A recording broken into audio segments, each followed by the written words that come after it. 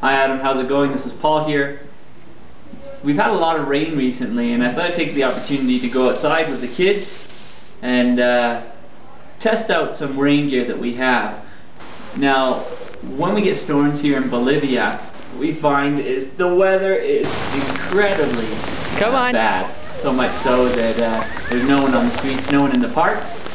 Um, and so we went out, got the park to ourselves, a lot of rain, a lot of rivers, a lot of puddles, and we uh, headed out and and uh, showed off my new bivy that I'm working on. So it's waterproof bottom on this bivy. It's got a water resistant top and a little mesh window. Now it turned out really well aside from the kids running in there when I wanted uh, to uh, do a uh, test if it was waterproof.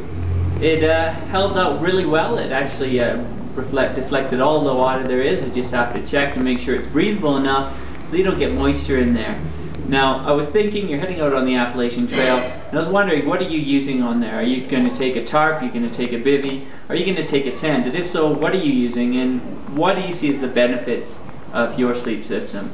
So, if anybody out there is reading, watching this, uh, please post a video response or a comment below to let me know what do you use when you're out by yourself on a hike, on a trip. Do you use a bivy, a tarp? What system do you use? Give me some details on it and, and what you like about it. I'd love to hear it.